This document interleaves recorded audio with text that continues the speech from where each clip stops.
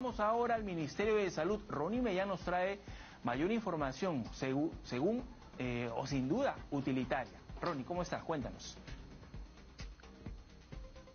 ¿Cómo estás, Omar? Muy buenas tardes. Me encuentro exactamente en el Instituto Nacional de Salud para hablar acerca del golpe de calor porque ahora nosotros estamos soportando, ¿no es cierto?, temperaturas de acuerdo al tsunami superiores a los 30 grados. Entonces, ¿cuál es la importancia de poder hacer frente al golpe de calor? ¿Qué es el golpe de calor? ¿Cómo podemos prevenirlo? ¿Qué tipo de prendas usar para no exponernos tanto a la radiación ultravioleta? Doctor, ¿cómo está? Bienvenido a TV Perú Noticias. Estamos justamente, si se acerca, por favor, estamos con el doctor César Cabezas, él es médico infectólogo del Instituto Nacional de Salud. Primero, en definición súper sencilla, ¿qué es el golpe de calor?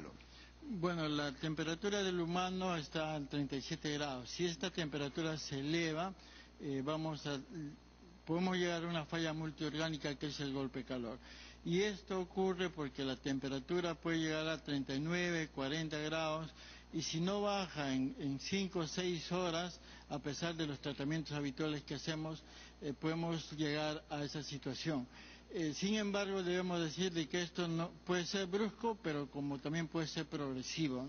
Empieza la fiebre permanente que no baja y a esto se puede agregar la falta de apetito, la sed intensa, después sudoración profusa, pero si continúa va a aparecer dolor abdominal, dolor de cabeza, náuseas, vómitos, diarreas y finalmente ya un cuadro neurológico con irritabilidad y convulsiones y ese ya es el extremo donde es una manifestación ya de una falla multiorgánica como ha ocurrido con el señor que ha fallecido en Ica. Muy bien, y esto es producto de exponernos tantas horas al sol. ¿Cuál es eh, lo recomendable? ¿Qué prendas utilizar y qué elementos también? Por ejemplo, aquí tenemos una sombrilla que es muy importante para protegernos del sol, pero también hay otras prendas, doctor.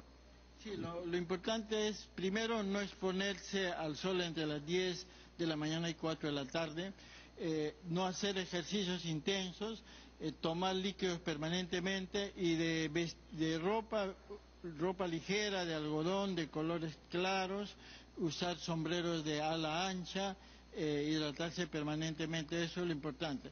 Ahora, en el caso de las personas que por necesidad tienen que trabajar, no deben estar expuestos permanentemente. Lo por ejemplo, las personas que están vendiendo en las calles, nosotros en los paraderos. Claro, de manera intermitente deben estar bien protegidos con su sombrero o con sus paraguas, eh, hidratarse permanentemente y no hacer ejercicios intensos como con bicicleta o correr, etcétera, en este periodo de tiempo donde la temperatura es mayor. Muy bien, pero hay que precisar que no hacer ejercicios, ojo, expuestos al sol, a eso es lo que se está refiriendo el doctor. Ahora, tenemos también el tema de los lentes oscuros, ¿no? Para protegernos también de la radiación ultravioleta, el agua, que es muy importante, tenemos frutas como la sandía, que tiene bastante líquido, tenemos la mandarina, la piña, la papaya, la mandarina también, como lo mencionamos, que son frutas rehidratantes. Así es, importante eh, tomar bastante líquido, frutas que tienen abundante contenido de agua, pero evitar también las bebidas azucaradas ¿no? Eh, y también el alcohol. Eh, por ejemplo, uno puede estar tentado de tomarse un par de chelas heladas, eso no es adecuado. ¿no? Hay que... Nada que para refrescarse. No para refrescarse.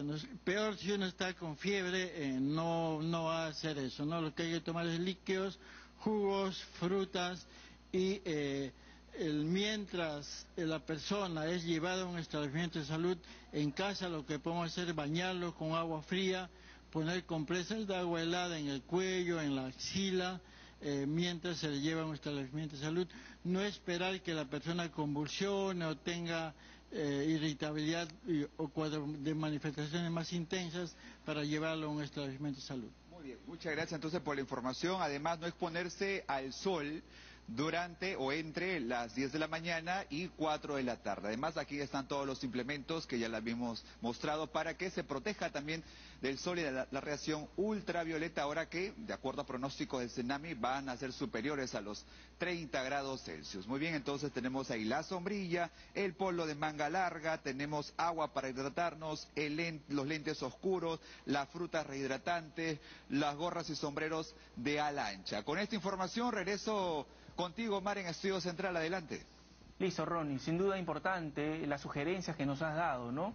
porque es bueno tomar en cuenta que hay que rehidratarse, hay que hidratarse, sobre todo en este periodo eh, horario, ¿no? De 10 de la mañana a 4 de la tarde, en donde el sol es eh, sin duda inclemente, ¿no? Una persona fallecida de 46 años en Ica, la temperatura era de más de 35 grados Celsius, así que en estos días estamos soportando prácticamente esas temperaturas en horas de la noche, algo de 24 o 25 grados, así que es importante protegerse, cuidarse, hidratarse, tomar agua y alimentos o fruta también que tienen eh, bastante eh, proteínas y agua, sobre todo, ¿no? La sandía es una de ellas, las mandarinas y los cítricos. Bueno, seguimos con más información.